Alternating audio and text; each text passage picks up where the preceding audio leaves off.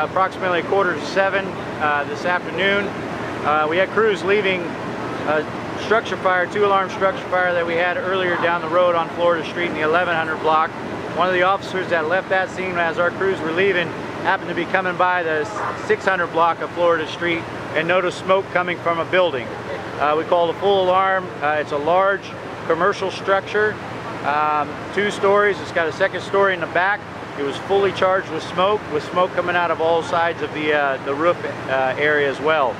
Um, a second alarm was called when crews started to go in to make a fire attack.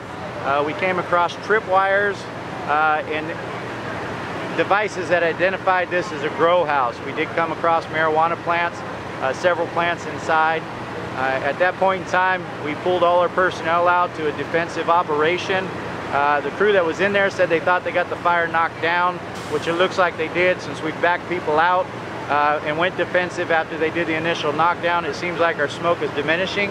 At this current time, we're working uh, with the uh, bomb squad and we're in communication with bomb squad and assisting us uh, with the tripwires and possible hazards that are related to uh, pot growing houses or grow houses.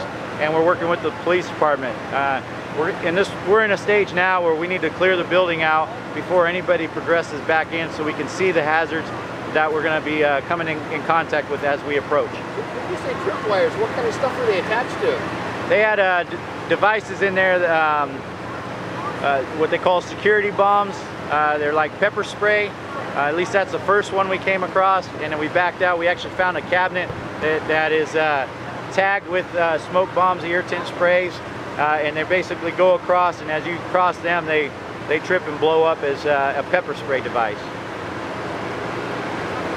So uh, do you have any idea about the cause? Was it electrical or uh, do you have any, any No, we do have fire investigator on scene. I can't uh, speculate on the, the cause at this time only because nobody's been able to get a really good look at this. Typically when you're dealing with grow houses, the way the, uh, they run the electrical, uh, and we had a hard time securing the electrical to this building, uh, a lot of times it causes a lot of draw from the electrical system and, and that's where we're getting it from our suspicions are that direction, but I can't I can't really uh, say one way or another. Was this operation one you knew about? Is it illegal? Uh, uh, we did find we actually found papers. This is a legal grow operation.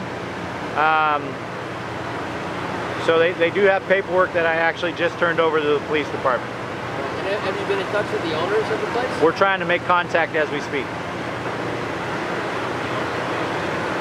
Can you tell us anything about who is operating? Uh, this grow operation? I, I don't know names or, or anything. I literally got the paperwork and handed it over to the police department, so they're trying to make all the contacts.